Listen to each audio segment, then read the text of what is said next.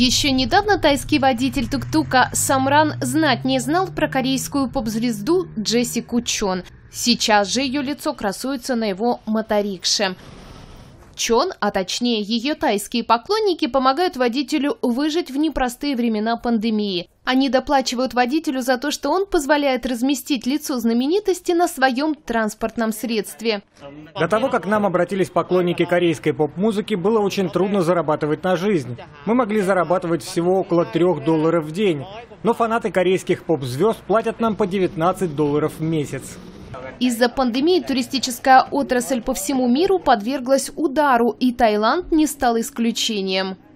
В Бангкоке зарегистрировано 9 тысяч моторикш, и они больше всего пострадали от спада потока туристов. Теперь же, благодаря поклонникам корейской поп-музыки, сотни из них стали получать хоть и небольшие, но стабильные деньги.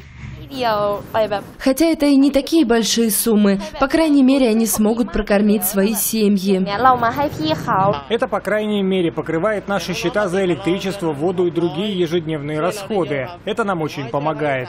Раньше фанаты корейской поп-культуры размещали изображения своих кумиров на вагонах метро, но потом работы метрополитена приостановили из-за акций протеста. В итоге молодежь решила изменить стратегию и нацелилась на малый бизнес.